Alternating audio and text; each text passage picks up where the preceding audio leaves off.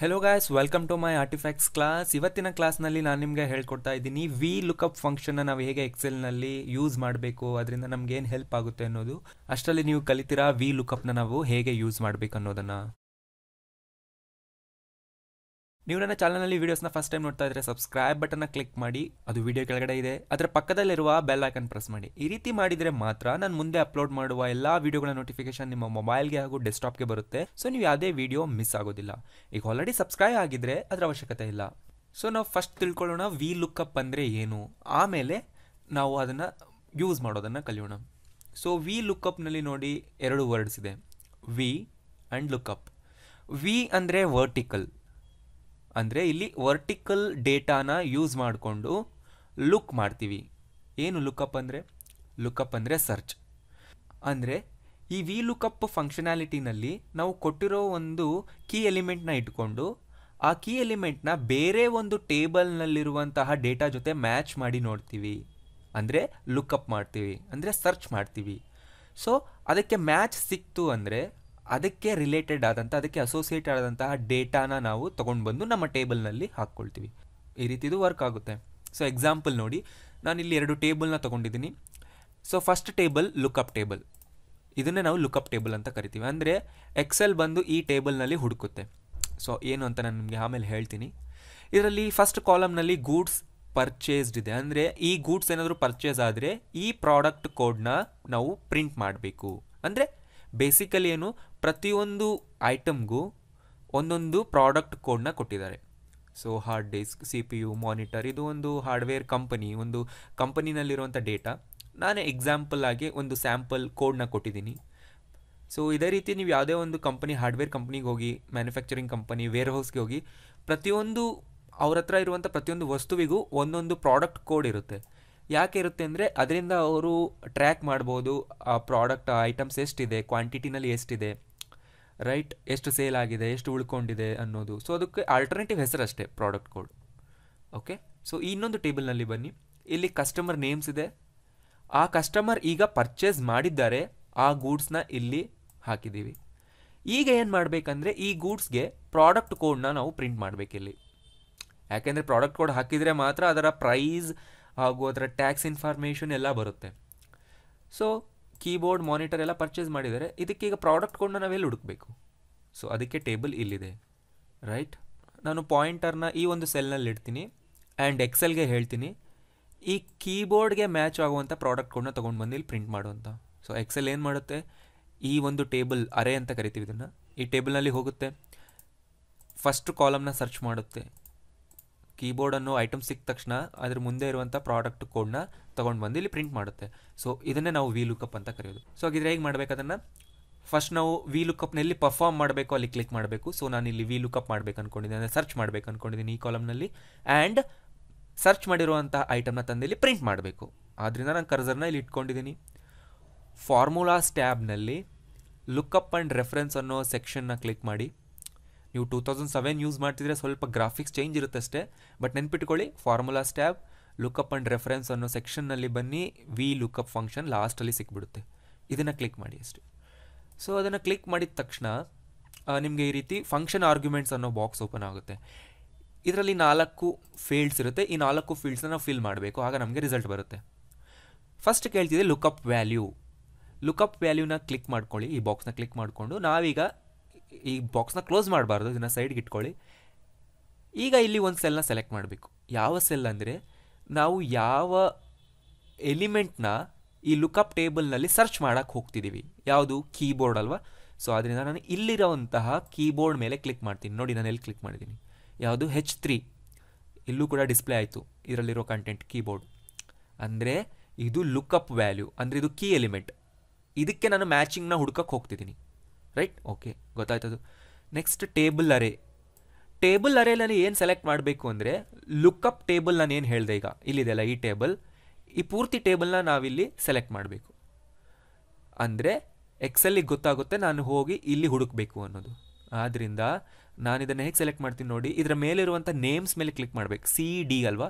ಈ ಎರಡು column lookup table ಆದ್ದರಿಂದ ನಾನು ಇಲ್ಲಿ ಕ್ಲಿಕ್ ಮಾಡ್ತೀನಿ. ಸಿ ಸಿ ಮೇಲೆ ಕ್ಲಿಕ್ ಮಾಡಿದ ತಕ್ಷಣ ಆ ಕಾಲಮ್ ಕಾಲಮ್ನಲ್ಲಿ ಇರುವಂಥ ಡೇಟಾಗಿಂತ ಜಾಸ್ತಿ ಸೆಲೆಕ್ಷನ್ ಆಗುತ್ತೆ. ಅಂದರೆ ಪೂರ್ತಿ ಎಂಟೈರ್ ಕಾಲಮ್ ಸೆಲೆಕ್ಟ್ ಆಗುತ್ತೆ. ಈ ರೀತಿನೇ ಮಾಡ್ಕೊಳ್ಳಿ.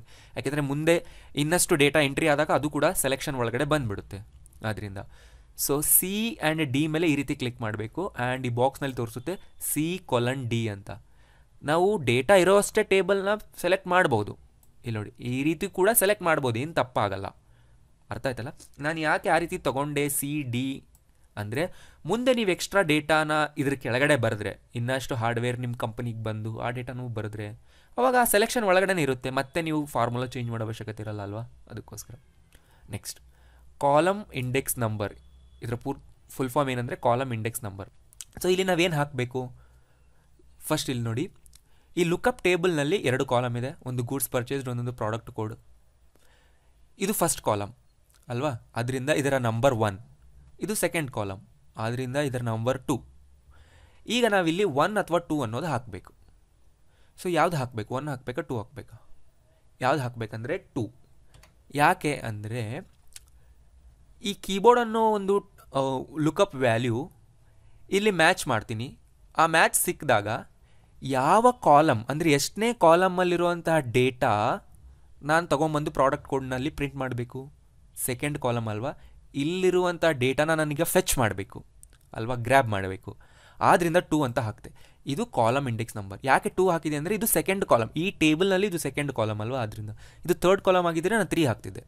ಫೋರ್ತ್ ಆಗಿದ್ದರೆ ಫೋರ್ ಆಗ್ತಿದೆ ಅಂದರೆ ಬೇಸಿಕಲಿ ಏನು ರಿಸಲ್ಟ್ ಸಿಕ್ಕ ತಕ್ಷಣ ನಾವು ಯಾವ ಡೇಟಾನ ಫೆಚ್ ಮಾಡಬೇಕು? ಎಷ್ಟನೇ ಕಾಲಮಿಂದ ಡೇಟಾ ಫೆಚ್ ಮಾಡಬೇಕು? ಅಂದರೆ ಇದು A M one zero five ಅನ್ನೋದು ಇಲ್ಲಿ ಬರಬೇಕು. ಅದು ಸೆಕೆಂಡ್ ಕಾಲಮ್ನಲ್ಲಿದೆ ಆದ್ದರಿಂದ two next range lookup so ಏನು ರೇಂಜ್ ಲುಕಪ್ ನಿಮಗೆ ಗೊತ್ತಾಗಲಿಲ್ಲ ಅಂದರೆ ನೀವು ಇದರಲ್ಲಿ ಡಿಸ್ಕ್ರಿಪ್ಷನ್ ಓದ್ಕೊಳ್ಳಿ. ಏನು ಅನ್ನೋದು ಇಲ್ಲಿ ಹೇಳುತ್ತೆ. ಇಸ್ ಅ ಲಾಜಿಕಲ್ ವ್ಯಾಲ್ಯೂ ಅಂದರೆ ಇದರಲ್ಲಿ ನಾವು ಟ್ರೂ ಹಾಕಬೇಕು ಅಥವಾ ಫಾಲ್ಸ್ ಅಂತ ಟೈಪ್ ಮಾಡಬೇಕು. ಅದ್ರ ಬದಲು ಒನ್ ಅಥವಾ ಝೀರೋ ಅಂತ ಕೂಡ ನಾವು ಇಲ್ಲಿ ಟೈಪ್ ಮಾಡ್ಬೋದು. ಒನ್ ಅಂದರೆ ಟ್ರೂ ಝೀರೋ ಅಂದರೆ ಫಾಲ್ಸ್ ಇಲ್ಲಿ ನೋಡಿ ಓದ್ಕೊಳ್ಳಿ ನೀವು. ನಿಮಗೆ ಇಲ್ಲಿ ಯಾವುದೇ ಒಂದು ಫೀಲ್ಡ್ ಬಗ್ಗೆ ಡೌಟ್ ಇದ್ದರೆ ಆ ಫೀಲ್ಡ್ ಒಳಗಡೆ ಕ್ಲಿಕ್ ಮಾಡಿ, ಅದರ ಕೆಳಗಡೆ ಡಿಸ್ಕ್ರಿಪ್ಷನ್ ಬರುತ್ತೆ, ನೀವು ಓದ್ಕೊಳ್ಳಿ. ನೋಡಿ. ಇಲ್ಲಿ ಒನ್ ಅಥವಾ ಝೀರೋ ಹಾಕಬೇಕು. ಒನ್ ಅಂದರೆ ಟ್ರೂ ಝೀರೋ ಅಂದರೆ ಫಾಲ್ಸ್ ಅಂದರೆ ನಮಗೆ ಎಕ್ಸಾಕ್ಟ್ ಮ್ಯಾಚ್ ಬೇಕಾಗಿದ್ದರೆ ನಾನಿಲ್ಲಿ ಝೀರೋ ಹಾಕಬೇಕು. ಆಗ ಇಲ್ಲಿ ಏನು ನೀವು ಕೀಬೋರ್ಡ್ ಅನ್ನೋ ವ್ಯಾಲ್ಯೂ ತಂದಿರ್ತೀರ? ಅದು ಇಲ್ಲಿರುವಂಥ ವ್ಯಾಲ್ಯೂನಲ್ಲಿ ಮ್ಯಾಚ್ ಮಾಡಿ ನೋಡುತ್ತೆ. Exact character by character match ಆದರೆ ಮಾತ್ರ ನಿಮಗೆ ರಿಸಲ್ಟ್ನ ರಿಟರ್ನ್ ಮಾಡುತ್ತೆ. ಇಲ್ಲ ಅಂದರೆ ಮಾಡಲ್ಲ.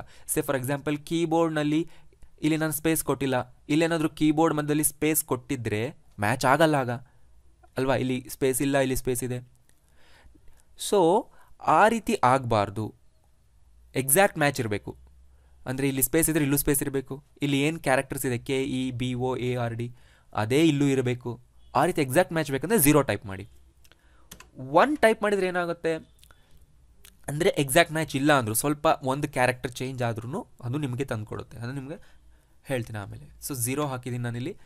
ಝೀರೋ ಹಾಕಿ ಓಕೆ ಕೊಡ್ತೀನಿ. ಸೊ ಇಷ್ಟೇ. ಫೀಲ್ಡ್ ಮಾಡಬೇಕಾಗುತ್ತೆ ಯಾವಾಗಲೂ ನೀವು ಝೀರೋ ಫಿಲ್ ಮಾಡಿ. ಟೆನ್ಷನ್ ಆಗಬೇಡಿ. ಎಕ್ಸಾಕ್ಟ್ ಮ್ಯಾಚ್ ಆದರೆ ಮಾತ್ರ ನಿಮ್ಗೆ ರಿಸಲ್ಟ್ ಸಿಗಬೇಕು. ಓಕೆ ಸೊ ನೋಡಿ, ಇಲ್ಲಿ ಬಂತು A M one zero five ಯಾಕೆ? ಕೀಬೋರ್ಡ್ನ ಕೋಡ್ ಅದೇ. ಅಲ್ವಾ? ಈಗ ಇದಕ್ಕೂ ಮತ್ತೆ ನಾನು ಅದೇ ಫಾರ್ಮುಲಾ ಹಾಕೋ ಅವಶ್ಯಕತೆ ಇಲ್ಲ. ನಿಮಗೆ ಗೊತ್ತಿದೆ ಅಲ್ಲ, ಫಾರ್ಮುಲಾ ಕೂಡ ನಾವು ಆಟೋ ಫಿಲ್ ಮಾಡ್ಬೋದು. ಅಂದರೆ ಇಲ್ಲಿ ಡ್ರ್ಯಾಗ್ ಮಾಡ್ಬೋದು ಕೆಳಗಡೆ ಇರುವಂಥ ಸೆಲ್ಗಳಿಗೆ.